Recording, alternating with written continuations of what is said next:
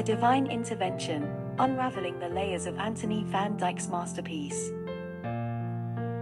In the midst of a devastating plague that gripped Palermo in 1624, a divine intervention was immortalized on canvas by the illustrious Flemish artist, Anthony van Dyck. Saint Rosalie interceding for the plague-stricken of Palermo is not just a painting, it is a narrative of hope, faith, and salvation woven into the threads of catastrophe. The artwork encapsulates Saint Rosalie, Palermo's 12th century patroness, as an emblem of hope during the city's darkest hours.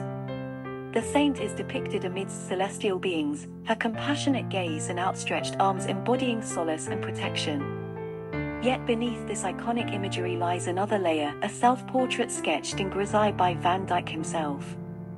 This revelation came to light through autoradiography unveiling an intricate dance between artist and subject where one narrative gives way to another. Van Dyck's journey with this masterpiece was tumultuous.